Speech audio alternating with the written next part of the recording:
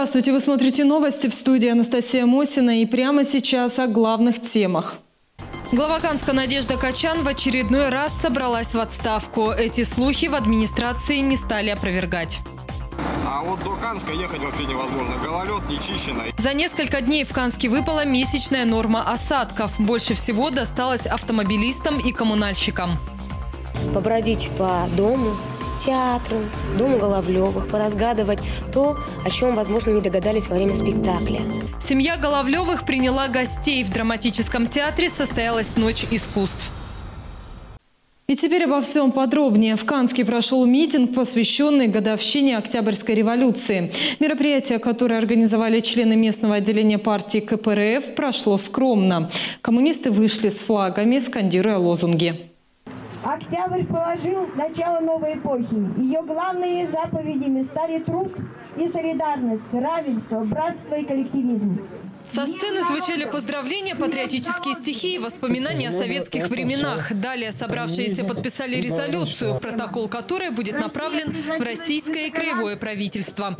Среди требований проведение референдума по пенсионной реформе, возврат прямых выборов главы города и отставка нынешнего мэра. И сегодня новый оборот начали набирать слухи об отставке главы Канска. Якобы Надежда Качан решила покинуть занимаемый пост и передала заявление в Канский городской совет. Если информация подтвердится, то для рассмотрения заявления депутатам необходимо собраться на внеочередную сессию, чтобы удовлетворить прошение.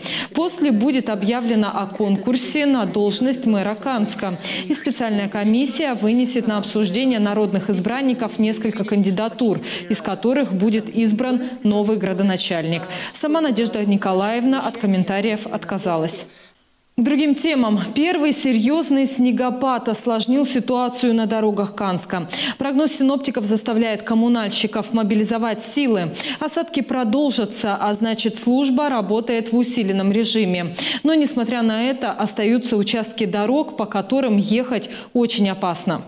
Улица Идымана этим утром напоминала зеркало. Песчаная посыпка была заметна только на остановках и при. Водители стараются ехать предельно аккуратно и неукоснительно соблюдать все правила. Из ряда в ряд никто резко не перестраивается. Все соблюдают дистанцию. Крадемся потихонечку, нарушаем все, не нарушаем ни одного этого предупреждения. Там, если положено 40, значит едем еще и 30 местами. Еще накануне от автомобилистов было очень много жалоб на виадук. Однако дорожная служба ситуацию исправила, обильно посыпав мост.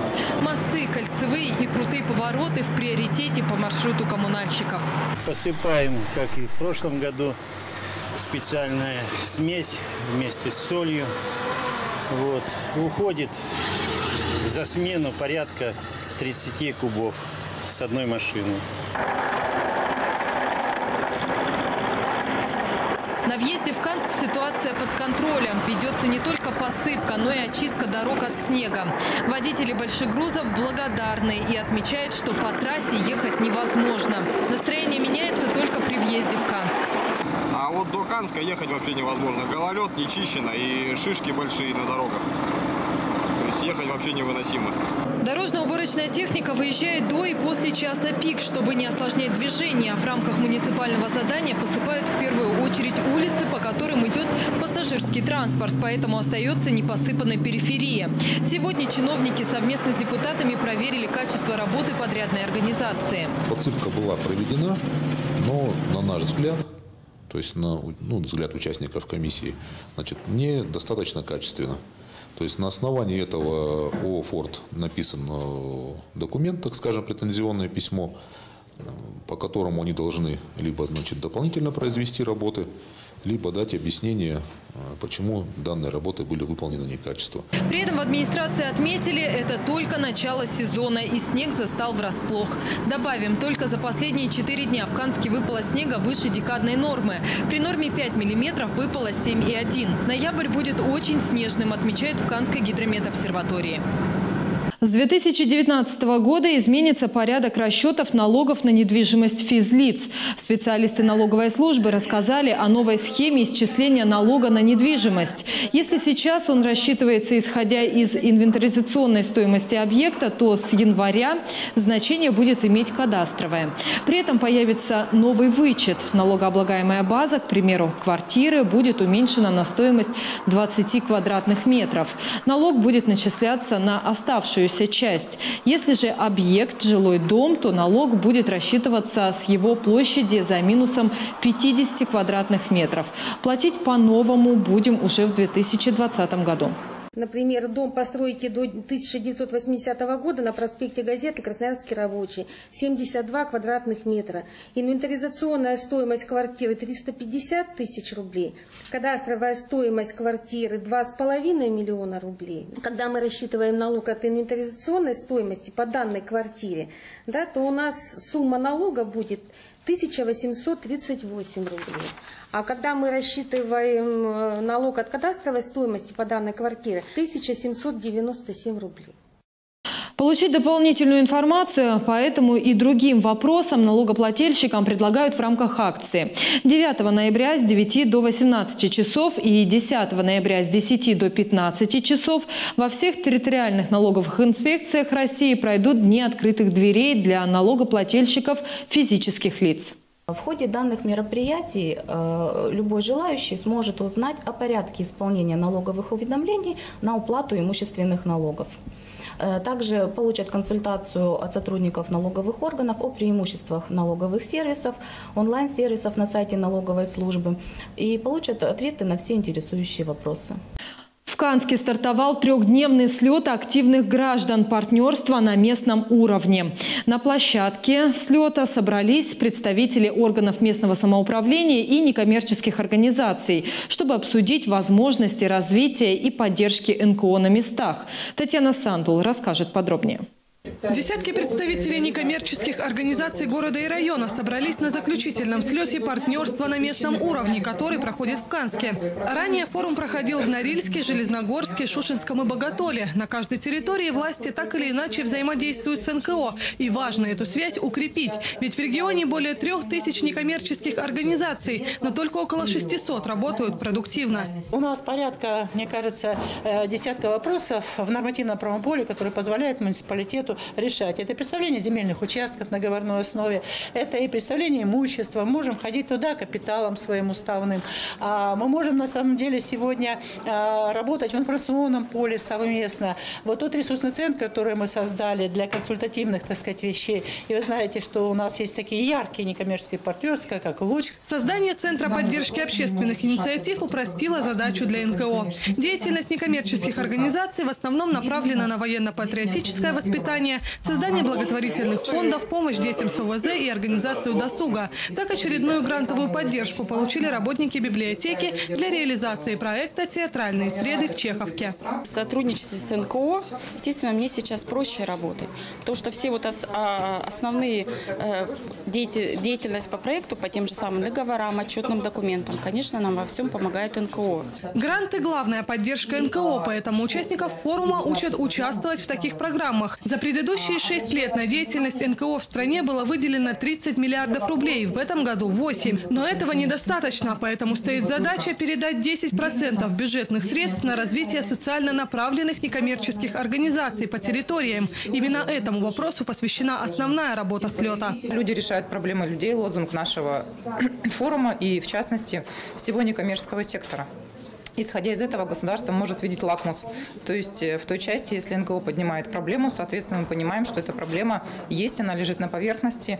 Добавим, слет завершится в Канске 9 ноября. В этот день участники проверят эффективность реализации социальных проектов в нашем городе. Татьяна Сандул и Александр Минеев, телекомпания «Канск», Пятый канал. Во второй части выпуска расскажем о том, какую поддержку получат ветераны Великой Отечественной войны, о службе новобранцев за колючей проволокой и о страшных историях, свидетелями которых стали посетители театра. Не переключайтесь. Сегодня я решил выйти из студии, чтобы показать вам нечто удивительное. Это условие нового кредита Восточного банка – До миллиона рублей наличными под 11,5% годовых. Восточный банк. Всегда хорошие новости.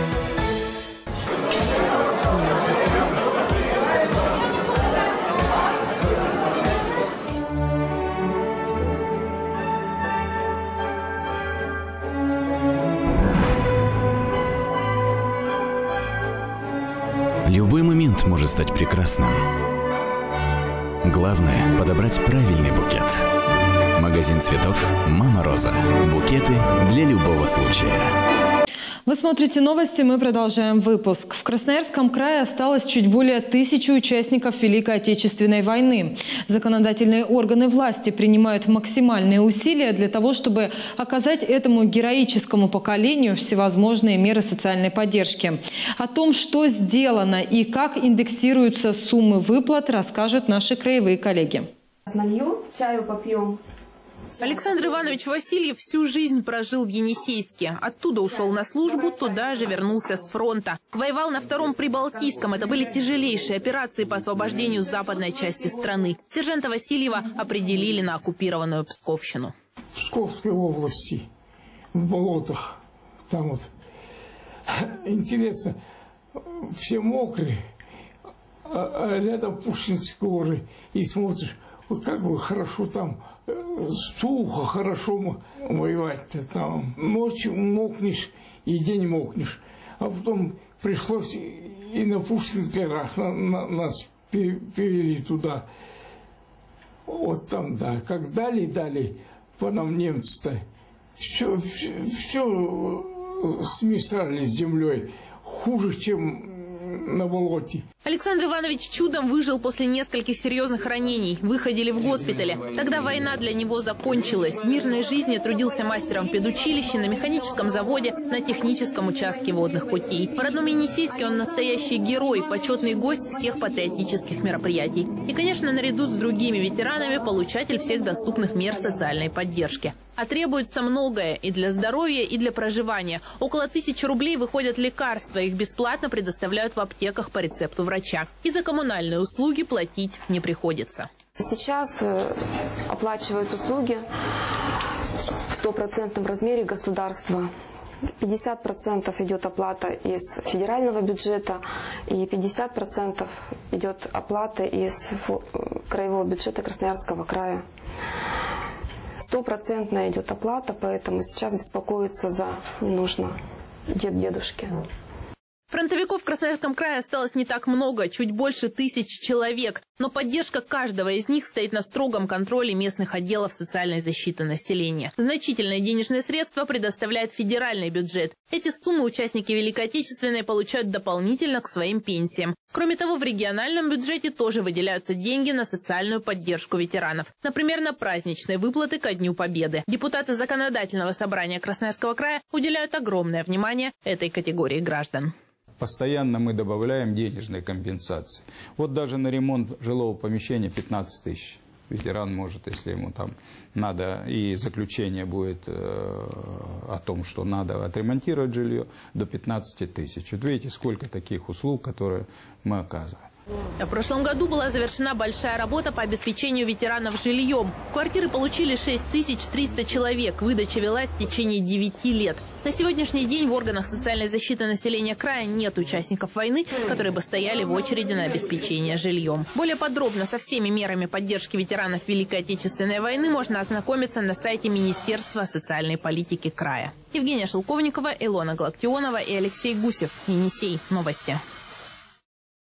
Сотрудники СИЗО и тюрем отметили свой профессиональный праздник. В честь этого семь новобранцев официально приняли присягу. И для них завершился испытательный срок. Как сегодня проходит их служба, расскажет Леонид Юрков. В актовом зале педагогического колледжа собрались все те, кто охраняет покой мирного населения от людей, когда-то приступивших закон. А повод непростой. В этот день они отмечают свой профессиональный праздник. Мы устроили очередной раз торжественное мероприятие Дня работника и тюрьм. К данной дате приурочили принятия присяги семи молодых сотрудников. Конечно, не все хотят, как на любую работу, идти туда, либо сюда. Но сотрудников, кандидатов у нас приходит много, к сожалению, не все проходят. Это как у нас проверки, комиссии военно-врачебные. Но у кого есть стремление, желание, проходит. Семь молодых сотрудников, которые решили посвятить свою жизнь службе исполнения наказаний, на сцене сегодня в парадной форме. Для принятия присяги приступить. Есть. Я, Соловей Максим Александрович, поступаю на службу уголовной системы, торжественно присягаю на верность Российской Федерации и ее народу. Среди новобранцев Максим Соловей в этот день для него и остальных парней официально закончился испытательный срок. Теперь он помогает соблюдать порядок на режимном объекте. Я пришел в службу в этом году, меня сюда привело ну, мечта одеть погоны, носить форму. Ну, хорошая заработная плата, социальные льготы, гарантии, служить закон, родине, народу. Хороший коллектив, нравится работать. Ему, как и другим новобранцам, еще только предстоит познать всю суть работы за колючей проволокой. Пример он берет с начальника воспитательного отдела. Он уже почти 20 лет служит в уголовной исполнительной системе. А начинал так же, как и Максим, с младшего состава. Работа сложная, но интересная. Э, в любом случае работа интересная, значит, э, это работа с людьми, это общение с людьми. Люди приходят разные, э, как бы то ни было, люди оступились, да, но тем не менее они совершили преступление, они остаются людьми все равно, в любом случае. И поэтому к ним надо относиться как к людям в первую очередь, проводить с ними работу. То есть дать им понять, что люди еще, то есть не все для них потеряно. Именно помочь найти силы на исправление тех, кто нарушил закон. Главная цель их работы. Леонид Юрков, Татьяна Блинкова и Александр Минеев. Телекомпания «Канск», Пятый канал. Испытали страх посетители Канского драматического театра. В ночь искусств там для гостей подготовили необычный квест, пройти который сумели только самые смелые. Моя коллега Татьяна Блинкова следила за происходящим. Она расскажет подробнее.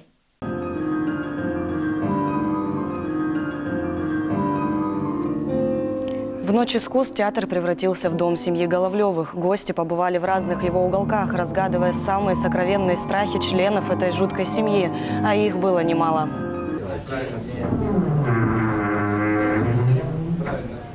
Желание раскрыть тайну хотя бы одного члена семьи Головлевых привело в театр большое количество людей. В эту ночь сцена превратилась в зрительный зал, но ненадолго, ведь сидеть гостям много не пришлось. Для них приготовили ужасный квест. Любители искусства поделили на четыре группы и отправили на самую жуткую в их жизни прогулку по уголкам театра. Но если вы пропадете, ответственность мы не несем. Пропасть не мудрено. Подвал, коридор страха, из которого выйдет не каждый. Комната Арины Петровны, где несколько ликов переживают ее самые сокровенные тайны и многочисленные страхи. И, наконец, кухня, на которой Иудушка страдает от одолевших его воспоминаний. Парфишка, братик! Степа! Парфиша! Пойдем со мной из рогатки стрелять! Пойдем. Иуда всех уничтожил. Иуда! Иуда! В каждой комнате зрителям нужно было понять, что же так мучает членов этой семьи. А самых активных награждали своеобразным головлевским оберегом, благодаря которому на фоне наших респондентов даже оживали мертвые. Вообще театр очень люблю, и наш Канский, и вообще то есть стараюсь не пропускать, ну, по крайней мере, премьеры или какие-то новые представления, которые происходят здесь. Ну и сегодня, в Ночь искусств, все-таки не побывать в театре и не посмотреть на ну, спектакль, который я не видел, к тому же. Вот как-то все срослось. Главной задумкой постановщиков квеста было все-таки дать зрителям найти ответы на вопросы, которые остались после посещения самого спектакля. Сам спектакль – это страшная сказка. Про жизнь, про тайны, мистика. И мы решили продолжить эту тему мистики, побродить по дому, театру, дому Головлевых, поразгадывать то, о чем, возможно, не догадались во время спектакля. Но немного попугать и испытать чувство страха – Ночь искусств стала своеобразной традицией в Канском театре. Это прекрасная возможность для актеров по-новому взглянуть на свою работу, заявить о себе и привлечь еще больше постоянных зрителей. Татьяна Блинкова, Александр Минеев, телекомпания «Канск», Пятый канал. Выпуск новостей продолжит актуальный прогноз погоды с Денисом Гончаруком. В студии была Анастасия Мосина. Всего доброго и до свидания.